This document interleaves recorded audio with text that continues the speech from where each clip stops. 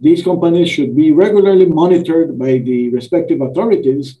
And, and um, I think even the co-management agents itself, in this case FCD, um, you know, have a role to play. So when FCD uh, issued this report, um, we were alarmed, we were concerned. We need, we, we um, must listen to what FCD is saying because they are our eyes and ears out there.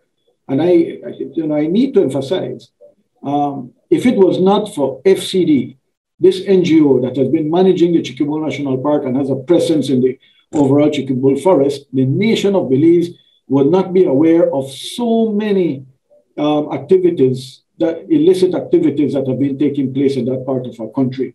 Um, a lot of the incursions from Guatemala, for example, it is because of FCD um, that we are aware of these things and therefore should make every effort we can, working in partnership with all the relevant authorities to put corrective measures in place.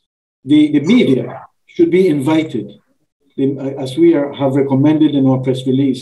The media and another independent entity should be invited um, or should be allowed access to the site. Um, we Belize, Belizeans need to know what is happening in there um, from an independent perspective, and the media can provide that.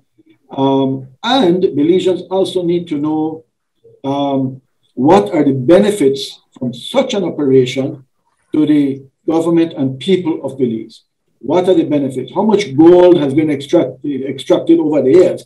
This company has had, um, has, has, you know, has been in the in the area of operating in the area for many years, many years. I, I, I believe there may be new owners of the company now. It, it has retained the name, but it will be very good for the public to know how much gold has been extracted, how many, how much royalties um, have been paid to the government of Belize. What is the country?